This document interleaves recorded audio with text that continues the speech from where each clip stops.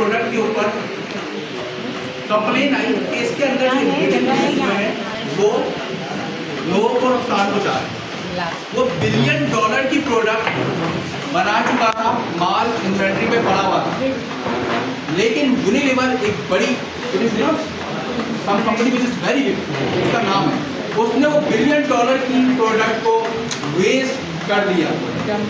अब जियो टीवी जिन्होंने कहा फेक है जियो टीवी भी अगर ऐसी प्रोडक्ट बनाता जो कि फेक होती लेट्स आप कह सकते हैं, लोगों की समझ ये थी अगर वो फेक होती तो क्या जियो टीवी खत्म नहीं कर सकता अच्छे से कर सकता लेकिन जो चीज़ एक इंटरनेशनल मीडिया चला रहा है, उसकी वो गारंटी ले रहा है कि ये फेक नहीं है। जिन्होंने किया, उनको जवाब मिल गया अब ज़रूरत नहीं हमें कुछ कहने की।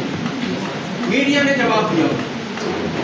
हम चुप थे हमने कुछ भी नहीं कहा। हमारे खिलाफ बहुत सारी बातें हुई अलहमदिल्ला बड़ी बड़ी बातें हुई हमने सुनी वो। पेशेंट कहते हैं हजूर पाक फरमाते हैं कि सबर करो खबर वक्त जवाब देगा। वक्त जवाब देगा। वक्त ने टाइम आने के ऊपर ऐसा जवाब दिया कि वो आवाज़ें बंद हो गई।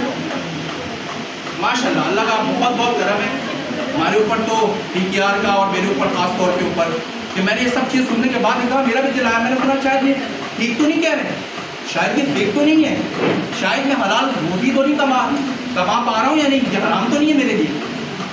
फिर मेरे दिल ने कहा, नहीं रोहित साहब, अगर जिस कंपनी ने तुझे जियो का कार्ड दिया हुआ है ना, वो कंपनी फेक नहीं हो सकती। और ये बहुत से लोग जानते थे माशाल्लाह, वो हमारे साथ थे, लेकिन उन्होंने किया।